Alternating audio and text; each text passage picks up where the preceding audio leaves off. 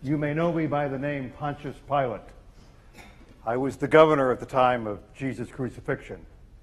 That morning, the chief priest came to me alleging Jesus had committed crimes worthy of death.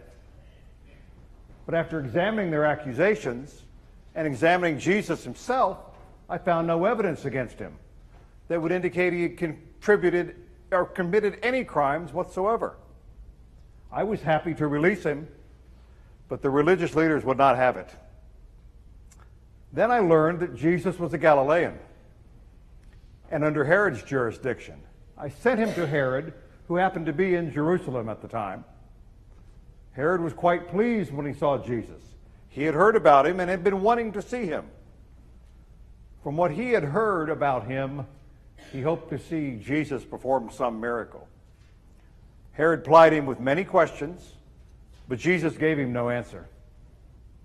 The chief priests and the teachers of the law were standing there vehemently accusing him. Then Herod and his soldiers ridiculed and mocked him. They dressed him in an elegant robe and sent him back to me. So I called together the chief priests, the rulers, and the people and said, You brought to me this man as someone who was inciting to rebellion. I've examined him in your presence and have found no basis for any charges against him. Neither has Herod. He sent him back to us. So as you can see, he has done nothing to deserve death. Therefore, I will punish him and release him.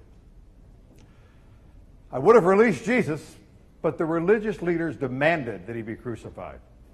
My wife even sent me a message. Don't have anything to do with that innocent man. I've had nightmares about him. And you know, the more I tried to convince them otherwise, the more determined they were in their request. I reminded them that the custom during the Passover was to release a prisoner. They yelled, Give us Barabbas, a hardened criminal. I, I just could not understand that. So finally, hoping to satisfy the crowd, I had Jesus beaten. Surely that would satisfy them. But when he came back to me beaten and, bat- and battered and bloodied, the chief priests had gathered even more people. Crucify him! Crucify him! I had nothing at all against Jesus myself, but I knew that as governor, I had to satisfy the desire of the people to avoid a riot. So, right there before all of them, I washed my hands as a sign of innocence. Although my hands may be clean, my heart was dirty. There was one innocent man that day, and it was Jesus.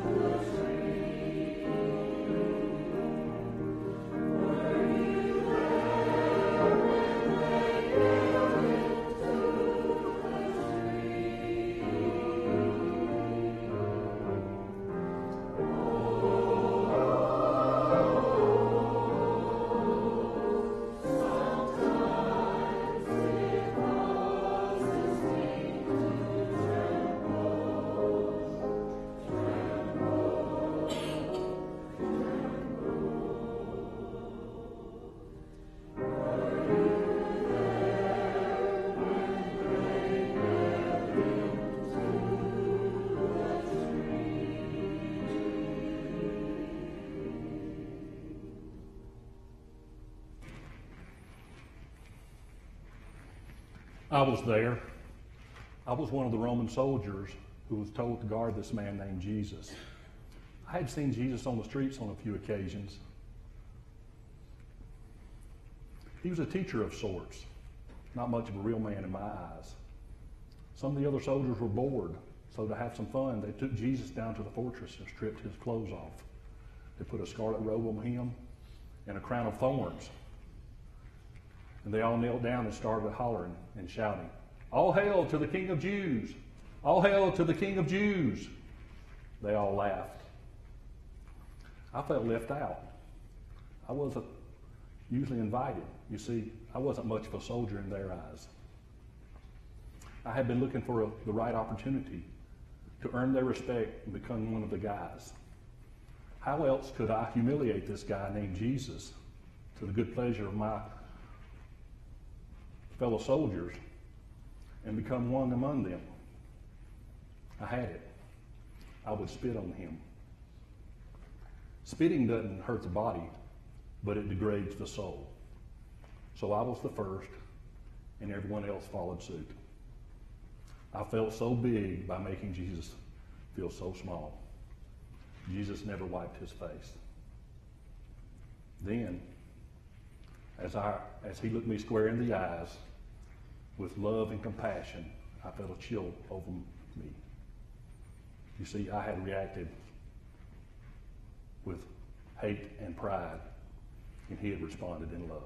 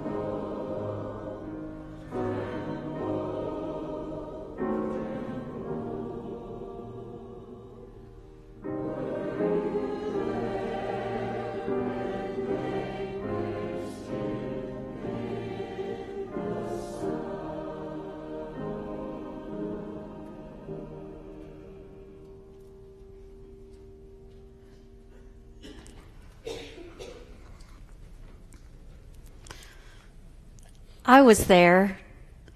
I was one of the Jewish women who had followed Jesus for months. I did what I could to help him along the way as he told of the kingdom of heaven. He called it the good news of salvation. He taught much about love, forgiveness, and hope. But that day was not a good day for Jesus or for the ones who loved him. I saw Jesus with the crown of thorns pressed on his head. His face was wet with spit and stained by his own blood. When Jesus could no longer carry his cross, a man helped him carry it to the hill. Nails were pounded into his hands and feet. But Jesus did not struggle with the soldiers. It was as if he knew that there was a purpose for what was taking place. It was very painful. You could see it on his face and on his battered body. But he never complained. It, re- it reminded me of a passage written by the prophet Isaiah. He was painfully abused, but he did not complain. He was silent as a lamb led to the butcher quiet as a sheep having its wool cut off.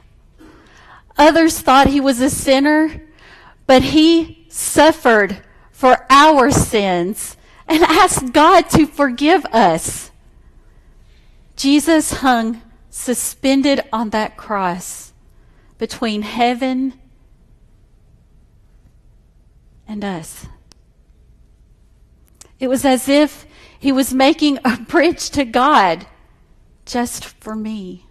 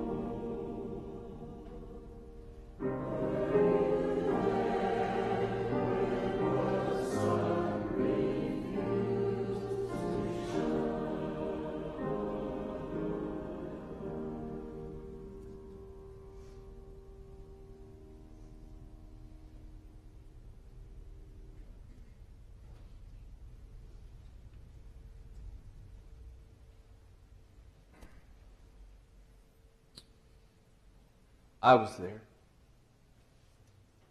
I am Jesus.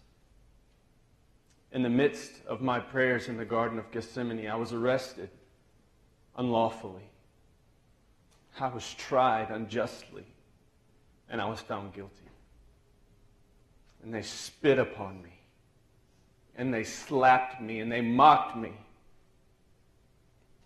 And after being held prisoner for some time, they took me to Pilate. And Pilate, not knowing what to do with me, took me to Herod. And Herod, frustrated and angry because I would not perform any miracles for his pleasure, sent me back with my false accusers to Pilate. And Pilate, in hopes of satisfying the angry mob, ordered me scourged. And so they took me and they stripped me. And they beat me. And they beat me almost to the point of death. My skin was shredded. My body was broken. My muscles were torn. Blood flowed all over my body. And the soldiers took me back to the fortress, and they put a purple robe on me and placed a crown of thorns upon my head. And then they began to mock me and pretended to worship me, saying, Hey, you, King of the Jews. And then they took a stick and they beat me. And they beat me and they beat me, and, and blow after blow broke me even more. And they took me back to Pilate. And Pilate presented me to the people, hoping their anger satisfied, but, but they said, Crucify. So Pilate gave the order, my execution. And I was made to carry the very instrument of my execution, a cross, to the very place of my death. But my body so badly broken, I couldn't carry the cross all the way up the hill to Golgotha.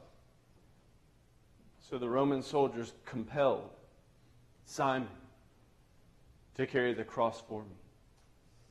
And when we got to the top of the hill, my hands were pierced, my feet were pierced, and my cross was strung up, and I was made to hang there between heaven and earth until I breathed my last breath. It was my back that bore the stripes. It was my brow that, that bore the crown. It was my hands and my feet that were pierced. It was my cross that I carried up the hill. And it was me that was strung up between heaven and earth. Until at last, I breathed my last breath. I gave my life for humanity. But humanity saw it only as punishment from God. The punishment that was for you, my Father placed on me. And because of my brokenness, because of my life, I've made you well. My blood was shed so yours didn't have to. My Father decided to place the punishment of you on me. All you have been like sheep who have gone astray. Each of you has turned to your own way, and my Father has laid on me the iniquity of you all. And as a lamb is led to the slaughter, and a sheep before the shears is silent, so I did not open my mouth. Were you there? No. You were not. But I was. And I was there for you.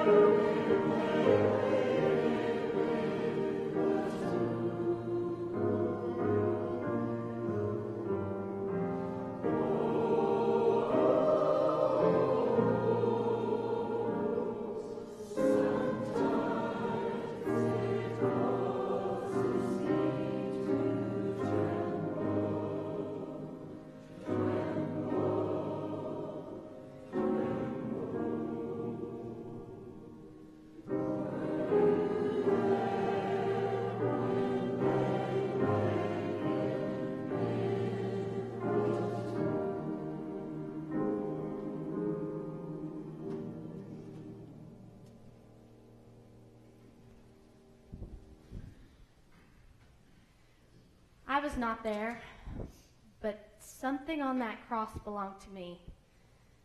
No one could see it, but the scripture tells us it was there. My sin was there. All the sin I have ever committed or will commit was placed upon Christ. Not only did he take my sin, but he received the punishment for it too. Now I can be free. Jesus is my Savior, Redeemer, friend. One can only imagine what Jesus was thinking as he hung on that cross. I wonder if he was thinking of me.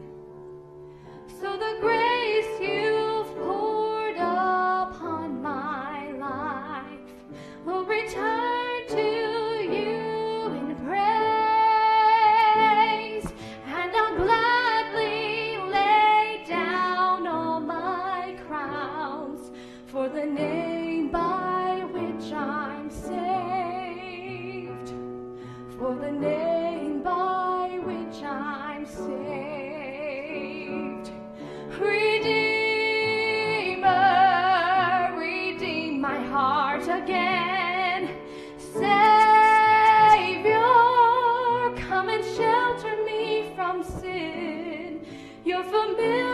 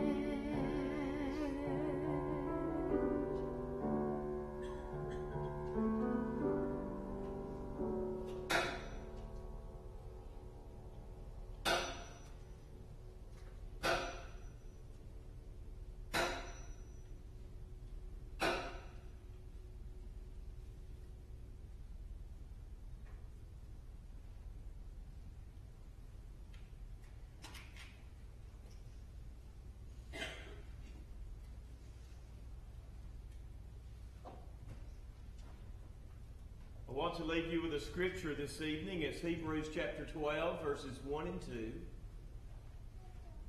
Therefore, we also, since we are surrounded by so great a cloud of witnesses, let us lay aside every weight and the sin which so easily ensnares us, and let us run with endurance the race that is set before us, looking unto Jesus, the author and finisher of our faith who for the joy that was set before him endured the cross, despising the shame, and has sat down at the right hand of the throne of God. I have to believe this evening that at least a part of the joy that was before Christ, that gave him the strength to endure the cross, was the assurance that people like you and I would place our faith in Him and have a loving relationship with His and our Heavenly Father. Let us pray. Father, we thank you this evening that the cross was not enough to deter Jesus. But Father, because of the joy that was set before him, he endured the cross. Yes, despising the shame, but he endured the cross. And Father, tonight I hope and pray we're a part of the joy that took him there, kept him there, and led him to be seated at the right hand of your throne. Father, as we journey together with you through this holy week, remembering and reflecting, may our heart be soft and sensitive to yours. And may we share the Christ that fills our hearts with all those we see in this community and then in this world. For it's in Christ's name we pray. Amen. God bless you, church.